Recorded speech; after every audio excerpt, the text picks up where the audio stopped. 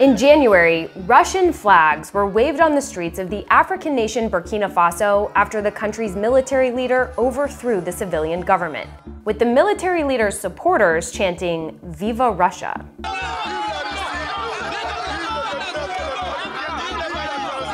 They also held signs like this, which read, we demand cooperation with Russia. France, get out. A few months earlier, in neighboring Mali, supporters of a military coup there held pro-Russian signs featuring President Vladimir Putin's face. The takeovers are just some of the latest in a surge of military coups and attempted coups that have rocked Africa's Sahel region and unsettled global powers. If you take a look at this bar chart, you can see that Africa has experienced more coups in the past year than it has in decades. The head of the United Nations called it epidemic of coup d'etats.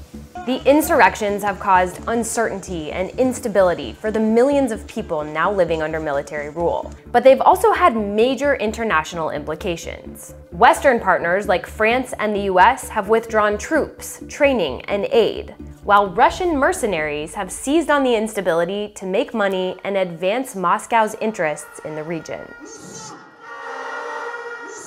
Before we talk geopolitics, it's important to understand why these coups are happening in the first place. Many people in these countries are facing violence from Islamist groups linked to Al-Qaeda, ISIS, and Boko Haram.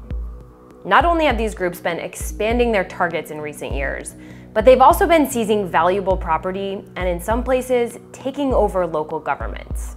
2021 was a particularly bad year, violent incidents in the Sahel nearly doubled from the year before, and more than half of those incidents occurred in Burkina Faso.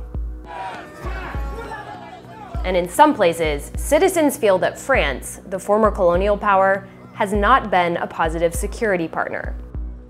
So what does the US have to do with all of this? For years, American forces have sent aid and hosted training exercises to help African allies combat extremism. My colleague Michael Phillips has observed some of these programs. What are they training them to do? There are different uh, kinds of training to go on, but one that's particularly important involves US Special Forces training commando units from those African nations. So it's sort of elite forces training other elite forces. This special forces training, known as Flintlock, is held in West Africa each year. But in recent months, some of the African militaries trained by the US have gone on to overthrow their civilian governments in coups. That includes the military leader who seized power in Burkina Faso. The insurrections haven't just alarmed American partners. They've actually triggered laws that forbid the US from providing assistance. Once the State Department declares that a coup has taken place, the U.S. can no longer provide military training, military equipment, uh, money, that sort of thing to the militaries in those countries. What have American officials told you about this?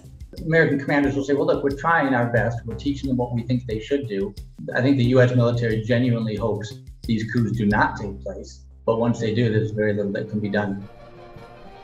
And that's where Russia comes in. Russian guns for hire are filling the void in Africa as Western militaries pull back. They're making money, gaining mining concessions, and helping Moscow expand its influence through the sale of weapons and mercenary services. Much of this is done through the Wagner Group, a shadowy military company that employs former Russian soldiers. The Kremlin denies any formal ties with the Wagner Group, but Western officials say Wagner acts as a proxy force for the Russian Defense Ministry, and it's funded by this man, Yevgeny Prigozhin, an oligarch commonly referred to as Putin's chef.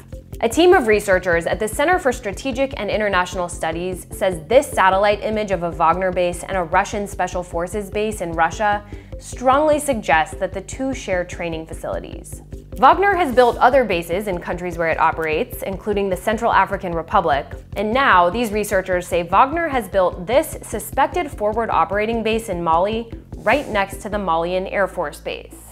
Mali's military leaders hired the Wagner Group late last year to provide security. And Western officials say about 1,000 Russian mercenaries are now operating in the country. ils arrivent au Mali avec des finalités prédatrices. Mais pourquoi? That has led to a falling out between Mali and France. And in February, France announced that it was withdrawing thousands of troops who have been in the country to fight extremism. Officials and analysts say these Wagner mercenaries are useful to the military leaders because they help them stay in power and they spread disinformation to influence public opinion. There's been a lot of rhetoric that Mali is actually liberating itself um, from, you know, the throes of French neo-colonialism mm-hmm. by pursuing um, a closer partnership with Russia. Now, analysts fear that something similar could happen in Burkina Faso and other fragile African nations pushing the West farther away and allowing Russia an opening to exert its influence on the continent. So, what about the millions of people now living under military rule in the Sahel? Their future looks far from certain. The resurgence of coups d'etats in our region is a matter of grave concern. Even though junta leaders look to Russia and the Wagner Group for security, Western officials insist that the Wagner Group makes countries poorer, weaker, and less secure. In some cases, the Wagner Group takes government money, natural resources, and strategic land, and it's been accused of massacres and other human rights abuses in Africa. Uh, they're a malign influence. They don't follow anybody's rules. They do what they want. They buttress dictators uh, they violate, uh, do, they do gross violations of human rights.